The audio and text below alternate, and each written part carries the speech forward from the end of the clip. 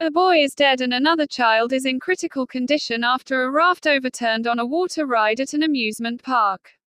The accident occurred at 7:35 p.m. local time on Saturday at Adventureland Park in Altoona, Iowa, when a boat on the Raging River ride overturned with 6 riders on it, according to a statement from the amusement park.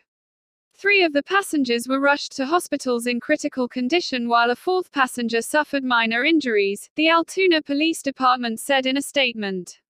11 year old Michael Jaramillo died on Sunday as a result of his injuries, police said. Another juvenile was still in critical condition as of Monday afternoon, according to the police. Altoona Fire and Police were on the property and responded immediately, Adventureland Park in its initial statement on Saturday night.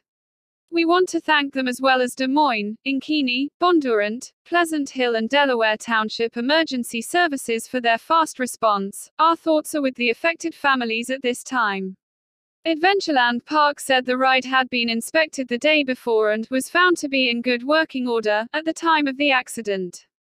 The Raging River ride will remain closed for more inspection. The park released a second statement on Sunday night about the death of an injured rider.